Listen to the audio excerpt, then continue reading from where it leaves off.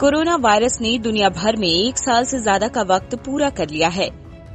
दुनिया जानती है कि लाखों जाने ले चुका ये वायरस चीन स्थित वुहान लैब से ही निकला है।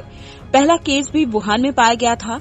वहीं हैरान करने वाली बात तो ये है कि इस विवादित लैब को चीन ने अवार्ड के लिए नामित किया है।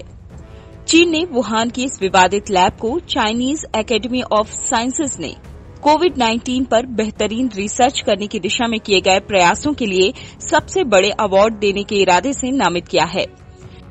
कई रिपोर्ट्स में ये बताया जा रहा है कि चीन की एकेडमी ऑफ़ साइंसेज की तरफ़ से कहा गया है कि इस लैब द्वारा किए गए महत्वपूर्ण रिसर्च की बदौलत कोरोना वायरस की उत्पत्ति, महामारी विज्ञान और इसके रोगजनक मैकेनिज्म को समझने में मदद मिली है। इसके परिणामों के फलस्वरूप कोरोना वायरस के खिलाफ दवाओं और वैक्सीन को बनाने का रास्ता साफ़ हुआ।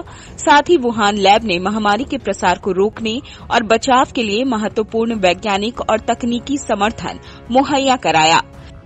एकेडमी के अनुसार वुहान इंस्टीट्यूट ऑफ़ वायरोलॉजी के रिसर्च ने कोरोना वायरस महामारी की रोकथाम और कोरोना की काट यानी कोरोना की वैक्सीन बनाने की दिशा में अभूतपूर्व योगदान दिया है।